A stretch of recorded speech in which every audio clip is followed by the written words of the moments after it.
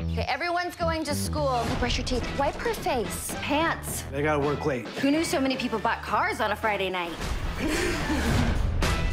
Hey, you got plans later? My church is having a bring a friend night. I'm just not really much of a church person. You're definitely a stuck-up bitch. She can barely make it through the school day right now. Here. We can't. Carla? There's this new drug that just got everything out. approved. Oh my God, can you The drug you're talking about, it's 10 grand a month out of pocket. Why do we have hardly anything in our accounts? I made a few bad decisions at work. Oh, honey, what can we do?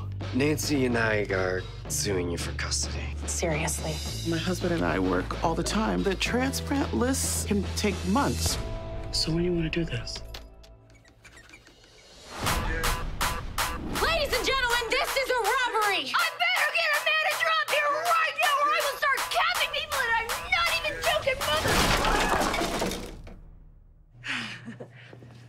Deadpool, you wanna?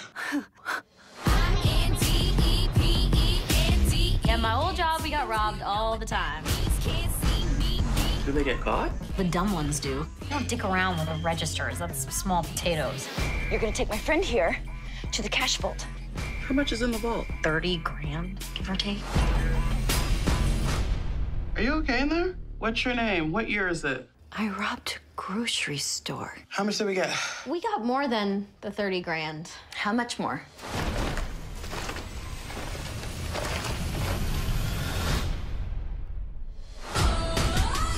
I handled the mortgage because you couldn't. We gonna stay in the house? I get to stay in the house. Your clothes are in the car. The new med's a great option. We'll start her on it and we'll see how she does. Who are you, Oprah? I'm gonna take a shower. I smell like booze and crime. What do you want? The money you stole from us. You really gotta be careful, ladies. We'll see you real soon, yeah? We're not gonna sit back and let everything be taken away from us. We have to do this ourselves.